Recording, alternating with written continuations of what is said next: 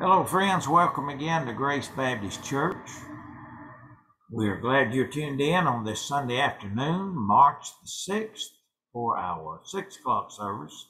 Hope it'll be a blessing to you. Hope you're having a great day in the Lord. This is the day the Lord hath made. Let us rejoice and be glad in it. Let us pray. Father, we thank you for the time we can share the Word of God again. Bless every, every listener I pray it'll be a blessing to them, a strength for them. God, you're so good to us to let us come to church without being in fear of man arresting us, throwing us in prison. God, I just thank you for the freedom of religion we enjoy here in this great country called America. It's in our Savior Jesus' name we pray. Amen. Friends, I want to entitle the message God's Answer to Man's Dilemma. God's answer to man's dilemma. Right before we get into it, I heard about a boy named Cowboy Joe. He was a cowboy. He was telling his fellow cowboys back on the ranch about his first visit to the big city church. Well, when I got there, they had me park my old truck in the corral, Joe began. You mean the parking lot? interrupted Charlie, a worldly old fellow. I walked up the trail to the door, Joe continued. The sidewalk to the door, Charlie corrected him. Inside the door, I was met by this dude, Joe went on. That would be an usher, Charlie explained. Well, the usher led me down the chute, Joe said. You mean the aisle, Charles said. Then they led me to a stall and told me to sit there, Joe continued. A pew, Charlie retorted. Yeah, recalled Joe. That's what the pretty lady said when I sat down beside her.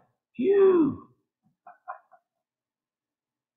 well, we're studying here through the book of First Corinthians. We've seen the Apostle Paul as the writer, and he helped plant this church. And while he's over in Ephesus, some people from the church come and visit. And they tell him that there's some problems developing in the church of Corinth. So he writes a straightforward, powerful book, inspired by God, of course. And it deals with the problems of Corinth, but it also deals with problems of churches today, 2,000 years later. Number one, there's the power of the cross. Now it says in 1 Corinthians 1, verse number 18, For the preaching of the cross is to them that perish foolishness, but unto us which are saved, it is the power of God. Now, in these verses, Paul shows worldly wisdom, which the Corinthians prized so highly, is the very antithesis of the wisdom of God. God's wisdom and the world's wisdom are exactly opposite. When you turn them around and follow God's wisdom, you'll know the way to heaven. The fear of the Lord is the beginning of wisdom. So, Paul, he has just talked a little bit about division in the churches. That's what we talked about last week. How do you deal with division in the church? And uh, the answer is that we need to be peacemakers. We need to consider one another, how weak we are. Not backbite, not gossip, not talk down to. So now he's talking from division in the church to unity in the church. We're to avoid strife and discord. We're to seek unity and love through the power of the cross. And it was at the cross where the greatest love story ever, ever heard of was seen. And it occurred right there at the cross.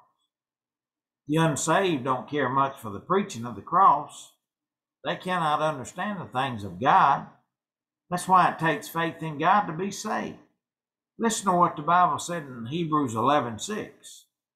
But without faith, it is impossible to please Him. For he that cometh to God must believe that He is, and that He is a rewarder of them that diligently seek Him. Did you get that?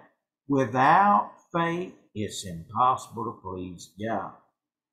If we're ever going to be saved from our sin, ever going to be saved from hell, we have to come by the way of the cross. we have to display our faith in God. Just as the unsaved, they have no desire or understanding of the cross. We who are saved, we understand the importance of the cross. We understand what was accomplished there. I mean, Jesus was carrying that cross down through the streets of Jerusalem on, up to the top of Mount Calvary. He had lost so much blood and got so weak they had to get a man by the name of Simon of Cyrene to help carry the cross up to the place of crucifixion. The Romans had the art of pain and death down to a science. Their chief method of execution was crucifixion. That's why Jesus was crucified instead of just being stoned or drowned or choked to death. The blood had to be shed on Calvary's mountain. Now, the unsaved looks at foolishness of preaching as meaning nothing. They don't see any value in the foolishness of preaching, they say. In the Greek language, that carries the idea foolishness, silliness, absurdity. So, translate from the word moron. Can you believe that? And that's where divide uh, derives from perishing. Every person is either in the process of salvation, though we won't be completed until we're redeemed with a glorified body, or we're in the process of destruction. One's response to the cross determines which. You've responded positively to the cross, hey, you are being saved day by day. You are saved as far as your standing is concerned. But one day you're going to actually be saved from this old body of flesh. You're going to have a glorified body. But if you make the wrong decision and reject the cross, then you're going to go downhill and downhill all the way. There's no help for someone who does not accept that Jesus Christ died, was buried, and rose again. So, to the Christ rejectors who are in the process of being destroyed, the gospel is nonsense. To those who are believers, it is powerful wisdom of Almighty God. They think our practice of preaching the Word of God is silly, absurd. They think it's foolish. The only way you can be saved is through the power of the cross. That word power, dunamis, carries the idea of dynamite. It carries the idea of violence, mighty, miracle working power. We could say that the preaching of the cross is mighty, it's meaningful, it's strong. It can turn a wicked person who hates God into a godly person who is a giant for God. Paul was an example of this. He had persecuted the Christians and now he's preaching to them. Can you imagine a man who had killed Christians? Imagine a man who had taken Christians and threw them in prison. Now he's preaching to them the exact thing that he was arresting them for. Nothing but the grace of God could do that. There's a power in the preaching of the cross. There's a power in preaching of the blood of Jesus Christ. In our day, many don't care to hear the strong preaching of the Word of God. But friends, that's how we grow the quickest. When we hear God's Word preached, it cuts the bad out, puts the good in. The child of God develops a hunger for the preaching and the teaching of the Word of God. It'll turn you into a giant oak tree for Christ. To the Greek, the philosophers, the preaching of the cross was foolishness. When Paul was there in Athens addressing the Epicureans on Mars Hill, he came to a place in the story where he referred to the resurrection of Jesus. And they said, What's this? Get out of here. We don't believe this. What's this babbler talking about the resurrection? Foolishness, ridiculous, they said. A man living and died and come back to life. They rejected Paul's message when he came to the cross and the resurrection. That's foolishness. Friends, the preaching of the cross is to them that perish foolishness. What's your attitude toward the preaching of the cross? It's important we examine it. Look at verse 19. For it is written, I will destroy the whole wisdom of the wise, and I will bring to nothing the understanding of the prudent. God says that He will destroy the world's wisdom, and there are plenty of people who think they're smarter than God. One day their wisdom is not going to mean a hill of beans. The Bible said the fool has said in his heart, There is no God. Psalm 14, verse number 1. They're corrupt. They've done abominable works. There's none that doeth good, the Bible says. But he goes on to say that he would bring to nothing the understanding of the prudent. The word for prudent means mentally put together. This is the person who thinks they're superior to everyone. Friends, the fear of the Lord is the beginning of wisdom. If a person thinks they're superior, they won't feel a need of salvation. If a person does not know God, they're not prudent. They're foolish. They're hasty. Where is the wise, he says in verse 20? Where is the scribe? Where is the disputer of this world? Hath not God made foolish the wisdom of the world? I mean, think about this. God is building a case as to where are the wise people in this world? Are they the scribes? Who are the scribes? Well, they're the ones that translated the Old Testament scripture. No, they're not wise. Are they the disputers of the world? That word disputers means someone who is disputing, a sophist. The true wisdom be found in a, one who is a disputer, a Greek philosopher? Oh no. Friends, only God can answer the big questions of mankind. Where do we come from? Why are we here? And where are we going? Now you think about that.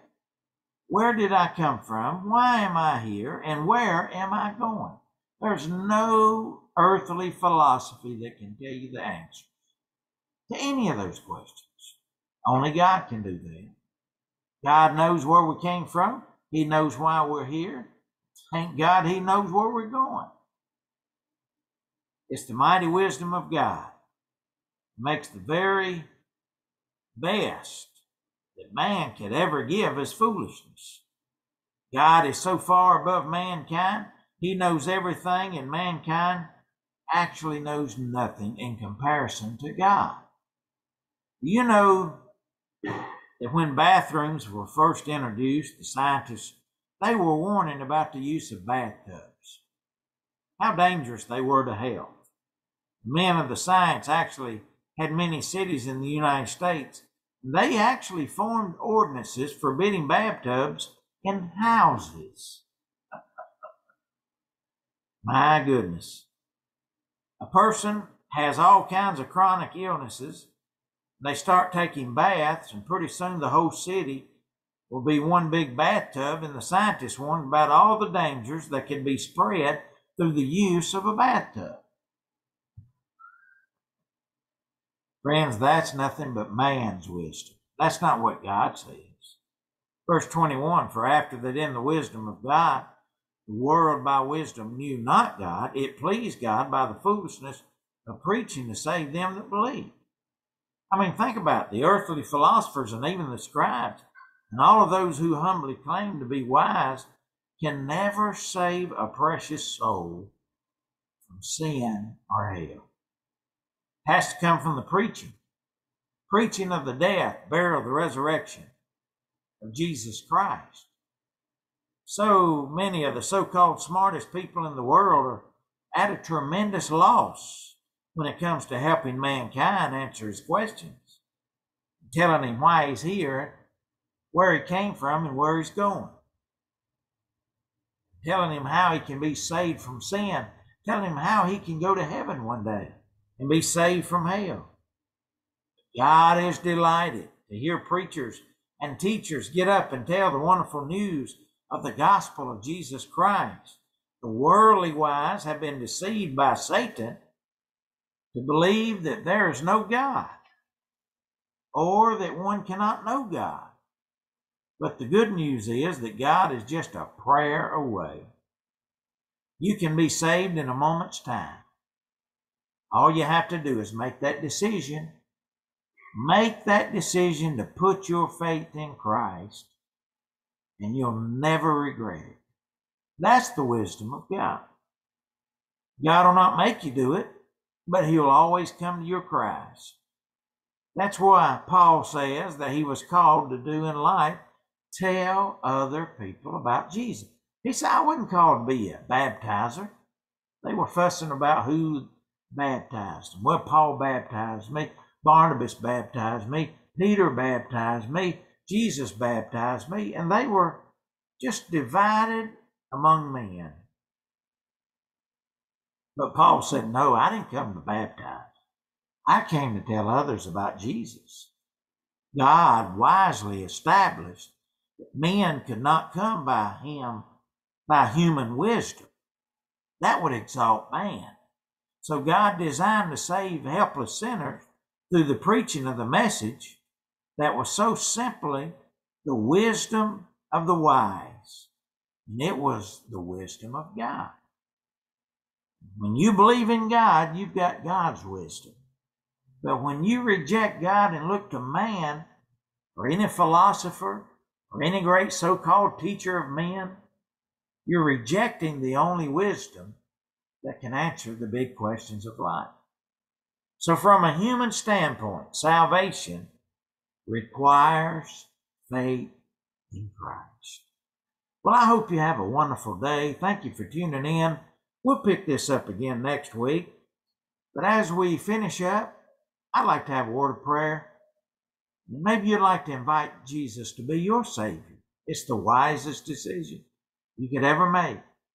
If you'd like to invite Christ to be your Savior, let us pray. Father, we thank you for this time we've had to share the Word, to share about the wonderful power of the preaching of the cross. Bless every listener. If there's one who is listening who's never come to Christ, let them be saved today in Jesus' name. Heads are bowed, eyes are closed. Friends, if you'd like to know this Jesus as your Savior, in your heart, would you pray something like this? Dear Jesus, I receive you as my Savior. Forgive me of my sin. Save my soul. Make me a home in heaven. In Jesus' name, amen. Friends, if you prayed that prayer, I just want to congratulate you. I want to say you've made the best decision you could ever make. Let us know. We'd love to know about it and help you any way we can here at Grace Baptist Church. Till next time, may the Lord richly bless you.